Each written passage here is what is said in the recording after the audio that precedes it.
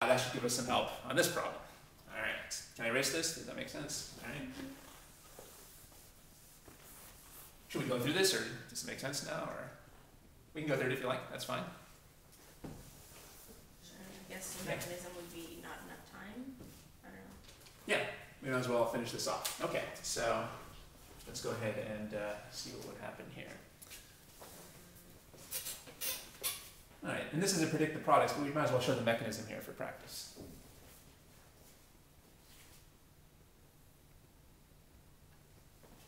Yes, it's fine. I just did the SN2 part. Yeah. But now we don't have any protons to pull off. Okay, let me catch up with you. Just the ones off the carbon next door, right? Oh, I mean, yeah. oh, I see. Oh. So have the, And we have that the base. minus, yeah. I Yeah. see. What is it that we have? Sometimes he has two Li, and sometimes he just has a chain and Li. That kind of confuses me sometimes. So, Okay, so from the first step, we would get this. Don't forget to put the positive charge on the phosphorus. Since it started neutral, it ends up with a positive charge. Uh, okay, so that gives us this. Um, and now he brings this in. Um, now, we know that we're supposed to treat organometallics like they're just uh, carb anions, right? So we're just going to treat this. it's like a Grignard, right? Yeah, it's like a Grignard. Uh, it's, technically, it's not a Grignard, but it behaves like one. It's an alkylithium, so it's like a Grignard. Um, all right, and these are strong bases. They got a big negative charge on a carbon, which doesn't like to have it. Um, and where are we going to take the proton um, from? Well, from here. Why did we do that? To liberate this pair of electrons, which we need to make this other pi bond over here. Um, and then that would give us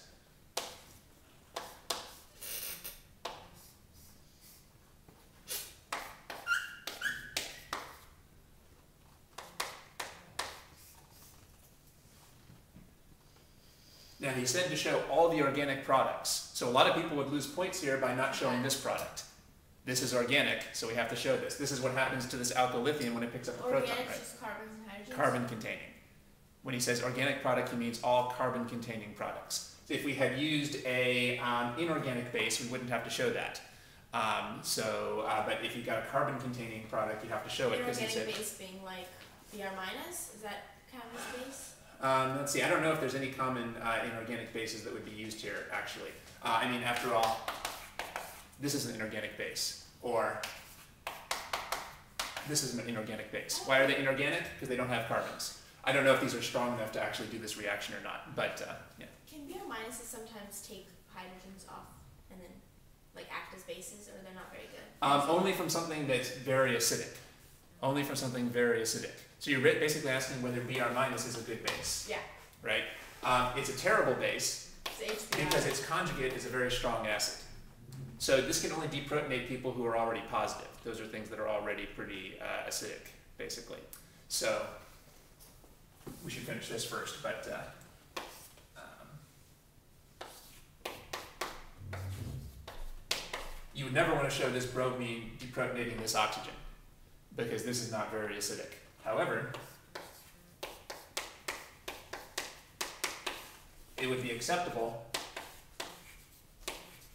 to show the bromine deprotonating this oxygen because this oxygen is very eager to get deprotonated to get rid of its uh, get rid of its positive charge. Yeah. So as far as problem solving, even this is not very realistic, but I think this would be accepted in a problem. So in problems, it's acceptable to use um, a Br minus or a Cl minus or an I minus to deprotonate something that's positive, but you can't deprotonate anything that's neutral because it's a really a terrible base. All right, that actually comes up quite a bit because uh, very often this is the leaving group, and then you use that to deprotonate uh, the guy that just came in behind you. Right. Um, and the HBr you said is very strong, kind of like HCl. Yeah, well, this is H3O plus, which we know is a strong acid. We, we treat that as a strong acid. Like, uh, What about like- HBr? well, what about HBr? Is that a strong acid? Yeah, HBr uh, is one of the strong acids. This tends to Like pretty much be, yeah, like hydrochloric. That's okay. right. Sorry to go back to the Yeah. Okay, no, that's good. Those are good points. Uh, all right, so as we were saying, don't forget to draw what happened to this guy. Um, yeah, so the problem said show our all organic products. So we have to show this. Uh, now we have this. Oh, so I guess we're done. Yeah. Okay. Um, now, um, so notice he could have given you a third step where you put this in, And and then you would do a Wittig reaction. All right, but here he's just testing whether you know how to make the ylide. So we do that Wittig reaction, we still have that other product, we still, we still have two products. You'd still have this. We'd have three products, wouldn't we? Um, you'd have this, and um, So we'd have the product. yeah, you would. Wait, Because- wait, wait, what would it be if we did it? Should we go through that? Yeah. Okay. So let's say that we added this third step. Go ahead and try drawing what the next products would be after step three.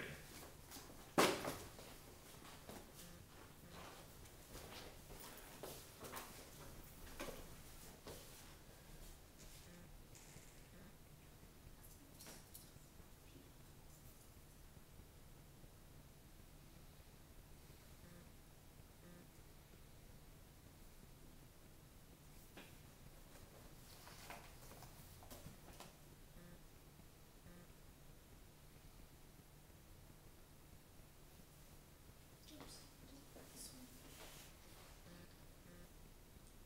So we cut here and here. That's right. Yeah, I'm gonna leave it at this, so that's clear what I'm doing.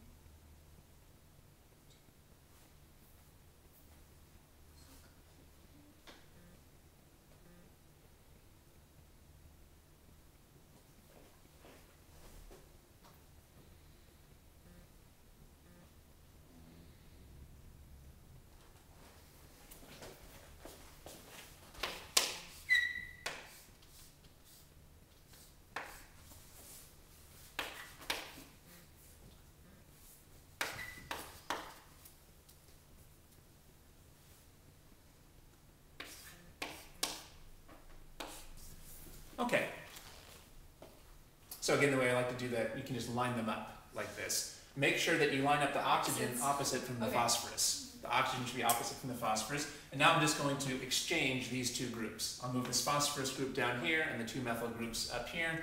So where the phosphorus used to be, I put the two methyl groups, and where the two methyl groups instead of redrawing that other stuff, carbons. Okay. Yeah, uh, yeah, so technically you could switch these two as well, Yeah. but you can see that this is maybe a little more efficient. Okay, all right, and uh, then that would give us our products here. Uh, and you still have to include this along from the previous step uh, as well. Why does this have to be included? How do we know this is organic?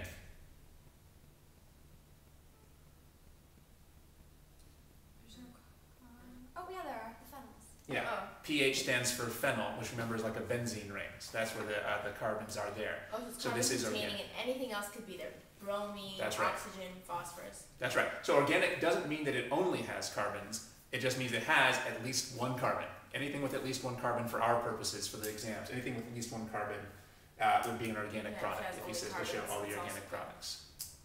Okay. So um, one thing we learned here again is it looks like you guys were already pretty good at drawing the products from the Wittig. Again, we learned how to make an ylide. So obviously you want to make a flashcard of how to make an ylide.